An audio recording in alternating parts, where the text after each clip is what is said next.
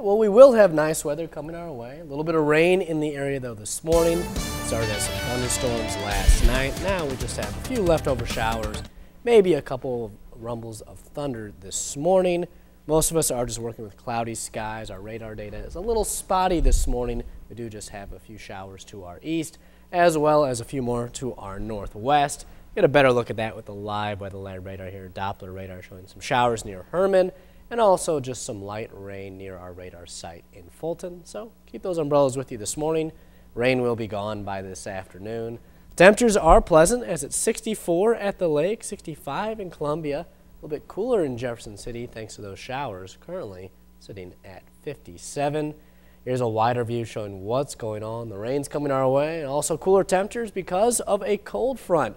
We were at 90 degrees yesterday and had a lot of moisture to work with, so that's why we did see some of those strong storms last night. This front is going to continue to make its way towards the east-southeast. We'll turn to the hour-by-hour forecast now and see all the rain should be out here by about 2 or 3 o'clock this afternoon. We are just going to work with mostly cloudy skies after that. Temperatures today reaching the lower 70s, right around the seasonal average. Overnight, we'll have some leftover clouds and temperatures cooling off into the 50s, still a few degrees above normal. Tomorrow, few clouds, mostly sunny, highs again in the 70s. High pressure is going to approach from the northwest. It's going to clear our skies by Wednesday. Look for sunshine and temperatures again pretty much perfect in the 70s. For today, 73 will do it. Showers, a few rumbles of thunder this morning. Otherwise, mostly cloudy winds out of the northwest. Tonight, we're down to 53, just scattered clouds.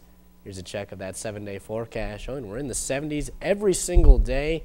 Going to be a little bit chilly though with lows Wednesday and Thursday in the upper 40s. We're up to 76 on Friday. And then we're going to have some rain chances come our way for the weekend. Temperatures still great.